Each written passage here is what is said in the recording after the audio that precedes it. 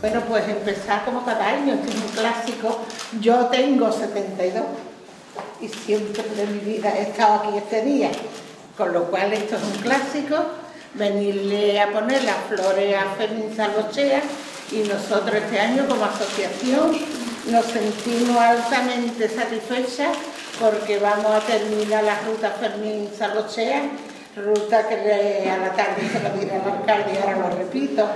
Nosotros se la cedemos al Ayuntamiento de Cádiz, a partir de hoy deja de ser de para los gaditanos, deja de ser de la asociación, porque, bueno, si la queréis meter en ruta, como ustedes veáis, nosotros se la cedemos al Ayuntamiento y nada más. Yo creo que la historia está salpicada afortunadamente de, personas importantes y también está salpicada de buenas personas. En el caso de Fermín Salvochea se unen esos, esos dos elementos.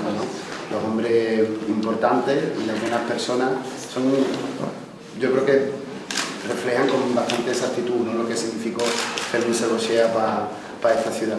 Nosotros como cada año, vosotros como cada año nos juntamos para honrar la memoria de, de este gaditano y bueno, simplemente reivindicar, ¿no? reivindicar su memoria y la importancia y la figura de una persona que 109 años después sigue siendo ejemplo y guía para muchos de nosotros. ¿no?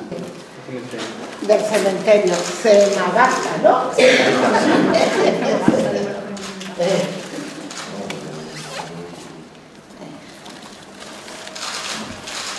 Ay, esta foto es Qué bonito, José María. Que siempre la hacía Antonio Chico. Qué bonito.